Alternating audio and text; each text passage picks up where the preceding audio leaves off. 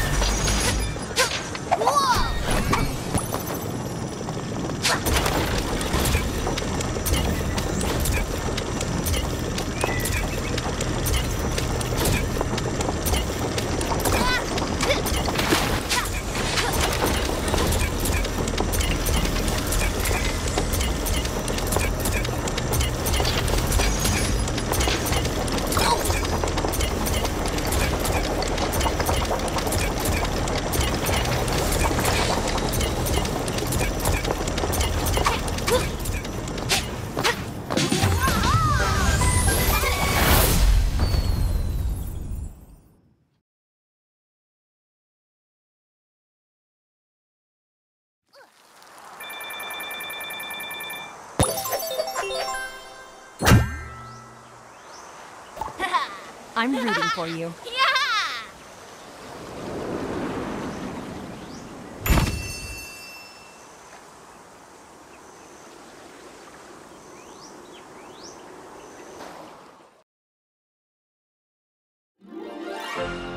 And so it was. Lucky passed the trials with flying colors and earned his place as a full-fledged guardian. As if there was any doubt. He is a Swifttail after all. We come from a long line of guardians, and together we'll defend the Book of Ages and all the worlds within. Wherever they are, I know the rest of our family would be just as proud of Lucky as I am today. The Guardian Order is slowly rebuilding, and our task is to find all the other Guardians that were lost when Jinx first attacked. We've got a lot of work ahead of us, and many new worlds waiting to be explored. Lucky's tale ends there for now, but I have a feeling this is just the beginning of his adventures.